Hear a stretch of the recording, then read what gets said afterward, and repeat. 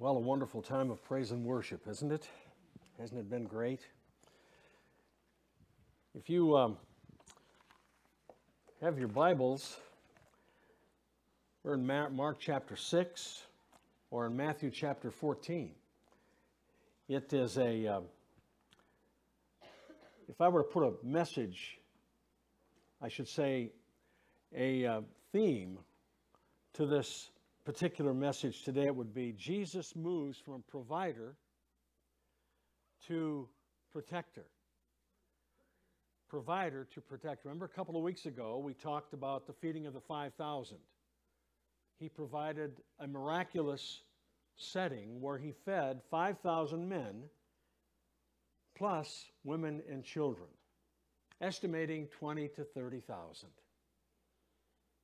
Well, Today, we're going to move to the next particular story where Jesus is going to calm a storm. He's going to spend time in prayer. He's going to spend time in a quiet place. And it kind of shows his humanity. And then it's going to take us to the place where Peter walks on water and he gets distracted, he begins to fall, and Jesus saves him. So we go to protector. I want you to think about that for a moment. Have you ever experienced his protecting hand? I remember a particular occasion for me. You know, when you're a teenager, you're always very smart, right? always a brilliant brain.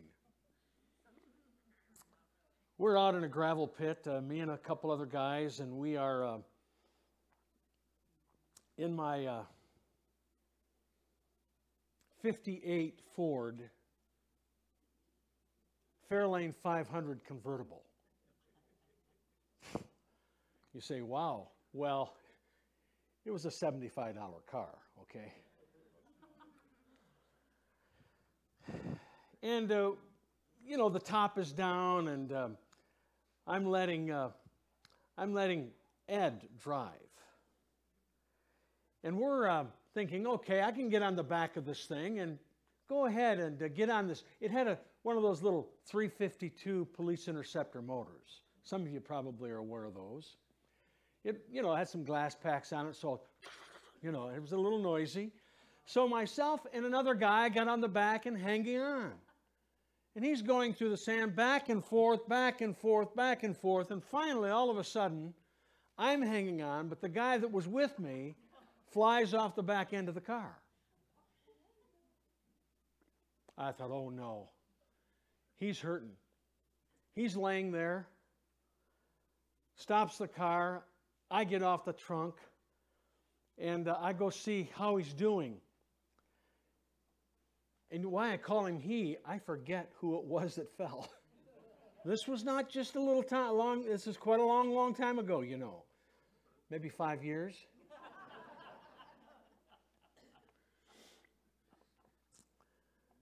He's rattled a little bit and shaking, and, and he says, Man, my ankle. My ankle. I said, Well, let's get up and see if you can walk it off. He couldn't walk couldn't walk. We had to take him in to the hospital. So we got in the car, and the way we went, long story short, he broke his ankle, put a cast on it. It healed up, and God provided for him. He didn't die. But I look at that and think, okay, I could have just as well fallen off on the other side or the same side and landed on him. Wouldn't that have been a terrible thing? So God provides, He protects. And He was a protector here when it came to the disciples because they were out there in a storm. Now, get this just fed 5,000 plus people. And did you know it said that it was during the Passover? Now, do you know what the Passover is? The best way I can explain the Passover, Tony, is that it was like the 4th of July. It was a great celebration. Okay? Did you have a good 4th of July, by the way? Did you celebrate? Well, I didn't. Yeah, I did. I did. Saw saw the uh, parade. You know, went to the fireworks. Matter of fact, I saw the fireworks like I've never seen them before. Lucy and I went somewhere. We we parked, and uh, I won't tell you where because I'll probably go there next year. but I could see the fireworks go over this building, and it was perfect. And go up there and just explode, and it looked like it just coming my way. And I said, Isn't that phenomenal? Fourth of July, it's like Passover. They were during, it was during Passover, so it was a politically moving time. And if you look over, these stories are recorded in the Gospel of John, chapter 6, verses 14 and 15, where I'm going to give some attention to. You can find it in Matthew chapter 6, verses 45 to 52, and then again in Matthew 14, 22 through 33. Some things leave some things out. Wait, some of those authors leave some things out. Like some places don't talk about Peter walking on the water. Here in this particular particular chapter in John chapter 6, it talks about Jesus leaving the crowd because what they wanted to do was instill him as king and president. They thought he was going to take over, I say president, king, authority. They were going to put him in charge because they had a defining moment in their minds of what kind of ruler he was going to be. And he wasn't going to be that kind of ruler. He wasn't one that was going to be powerful, boisterous, loud, personality plus. He was a soft, gentle shepherd that had a much different take on life than what they assumed. This big crowd was going to put him in charge, going to make him king. Look what he's doing. He's healing everybody, he's touching everybody. What, what, what, a, what, a, what a God that he's the Messiah. Going to make him king. It said he withdrew. Did you catch that? And uh, let's look. I'm going to read that account. John chapter 6. Verse 14. After the people saw the signs that he had done and what he performed, they gave, they began to say, Surely this is the prophet. Now you have to go back to Deuteronomy. I think it's chapter 15 or verse, I think it's chapter 18, verses 15, something like that. I, I can give it to you. It's 1815 in Deuteronomy. But it goes on here and says this Jesus, knowing they intended to come and make him king by force, he withdrew again to a mountain by himself. He began to draw strength by a solitude place. Now, let me stop there and say this being that Jesus needed to get away, he was exhausted. You know, he was kind of human. He remember he's God, but he's also human. He's God man, right? We don't like to think of him sometimes as being like a man, but he he was exhausted. He had spent time healing people. If you read the story, he's touching people, he's doing tremendous miracles. He's he's working he's working hard in behalf of the people. And if you were to read a little bit more of the story back, you'll find that his cousin, whom he loved, you know who his cousin was, right? John the Baptist. John the Baptist had been beheaded. He was killed. And Jesus, after that, went away and prayed in a solitary place. So here again, we could say that he went away into a solitary place to pray so he could gain strength. Now, here's the key if Jesus needed to go to a quiet place, number one, isn't it true that sometimes we may need to go to a quiet place? Reflect, regroup, get replenished, get strengthened. Sometimes our attitudes aren't quite right. Sometimes we get offended and we get hurt by what people say and what people do and what families do. Sometimes we have attitudes that aren't very good and we don't tolerate uh, people that think differently than we do, and we get a little upset, and, and different things that different things that can cause us to be weak-minded. You ever been there and done that? Yeah. Jesus did two things I think that are important for us to, and he models it for us. Not only did he get away, but what did he do? He spent time in prayer. I can't tell you how valuable that is. I'm thankful that he modeled that for us. So don't get too busy. Take some time and replenish your faith and be strengthened within yourself and realize there's two things you can do escape, go to a quiet place, and pray. Well, I can't tell you there are times I need that in my life. God knows. And I've learned over the years how important it is for me to respond to a quiet place. It's therapeutic. And to pray. Now, let me tell you about how I pray sometimes. Maybe different than what you're thinking. I just don't pray by saying, Oh, Heavenly Father, you know my situation, you know my circumstances, you know these people around me are bummers. They're just not with it. No, I don't, I don't pray like that. Let me tell you how I pray. I go to a scripture here. Let me take you to a place where I pray. it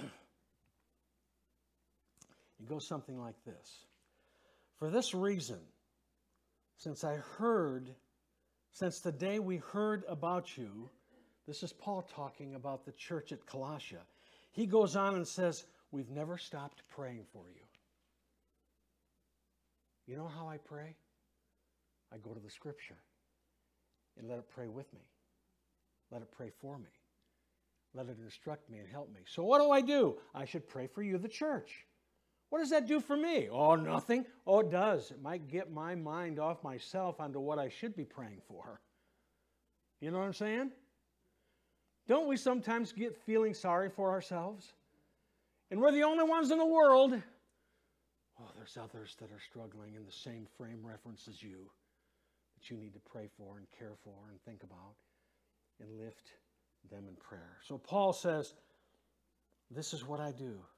I'm going to pray for you.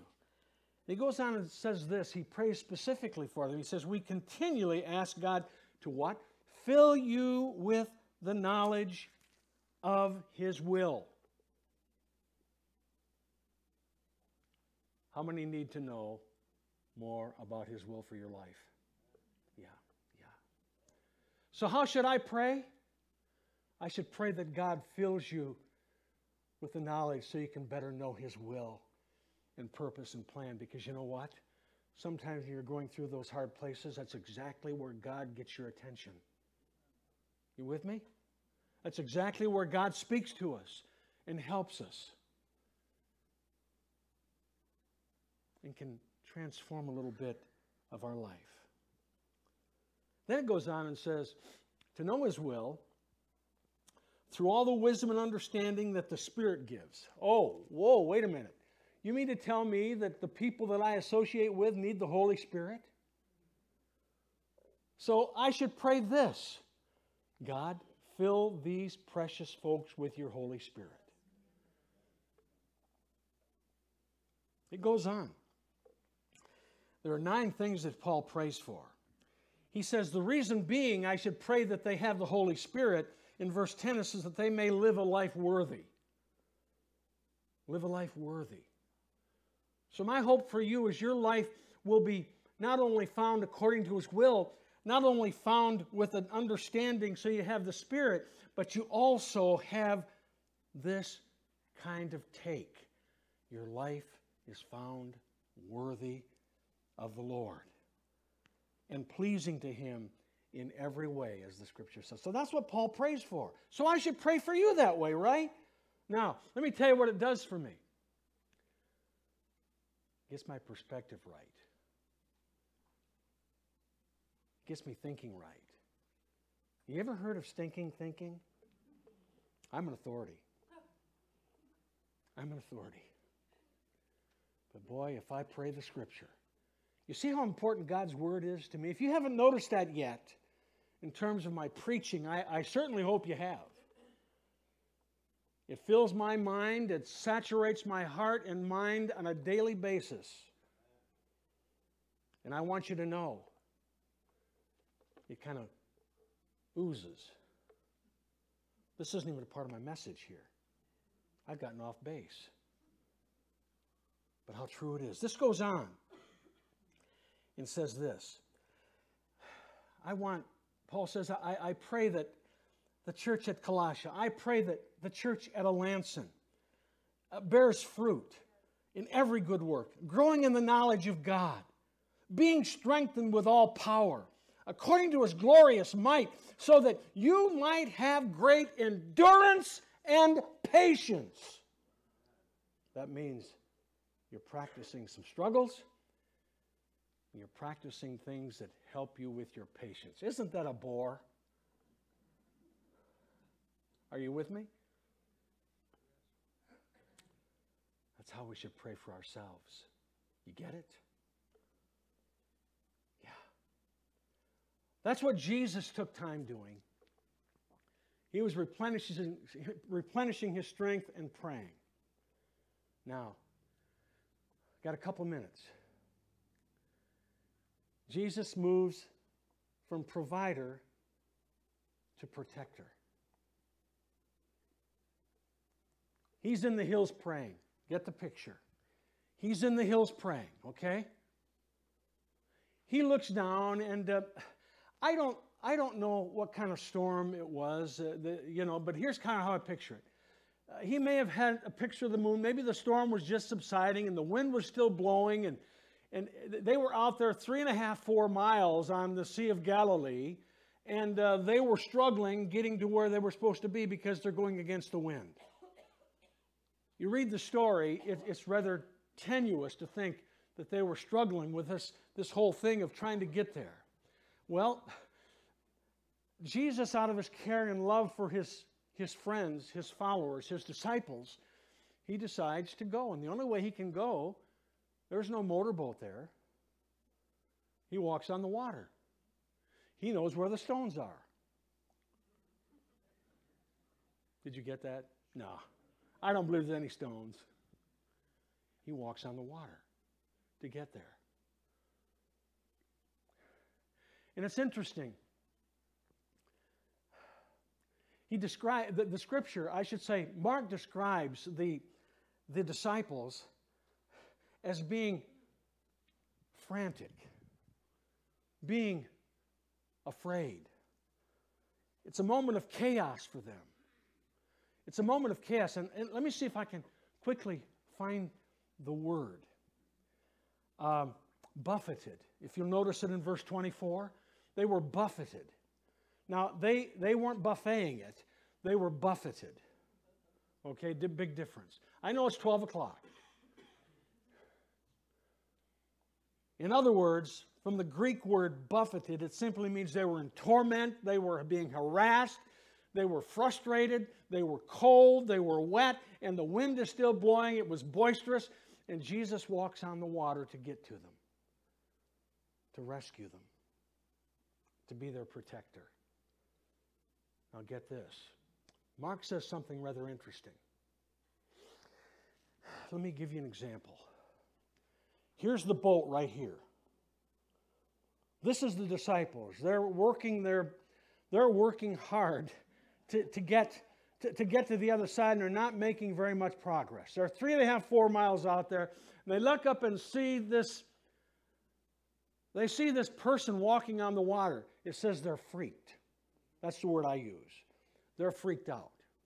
Now, here's what Jesus does He's walking on the water, He gets by them. My question is why did He walk by them? Why did he walk by him? Here's an answer. It's very important.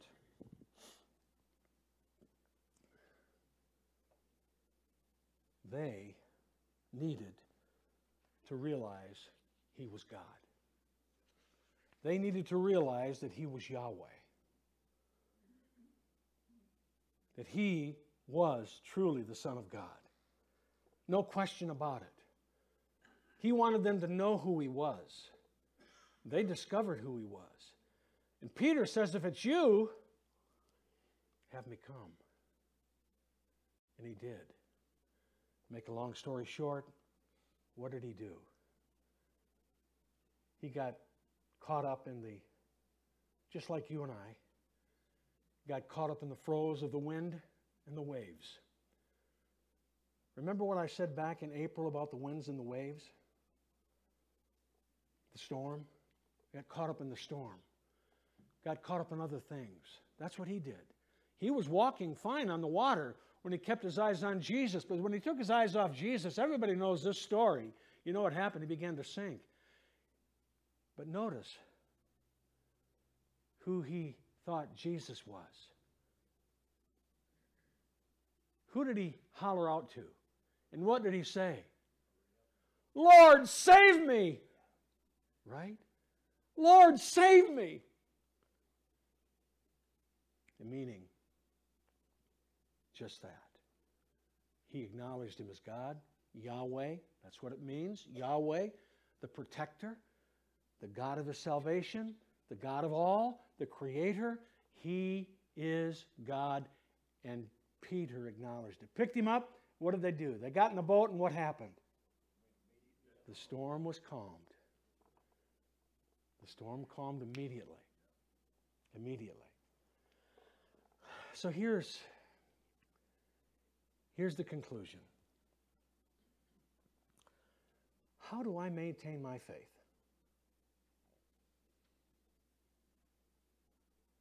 In tough times. How do I maintain my faith in tough times? I can tell you this much certainly not with fear. You know what I mean? I'm not going to be able to build my faith with fear. It's going to have to be more than that. Jesus said this in verse 27 Take courage and don't be afraid. So, in the throes of your life, in the trials and the troubles of your life, in the tribulations and the temptations and the trials, it's important that we understand take courage and don't be afraid. I'm reminded that he said, I am. Did you get that in verse 27? He says, It is I, it is I. In other words, he's saying there, I am. I am. I am. I am Yahweh.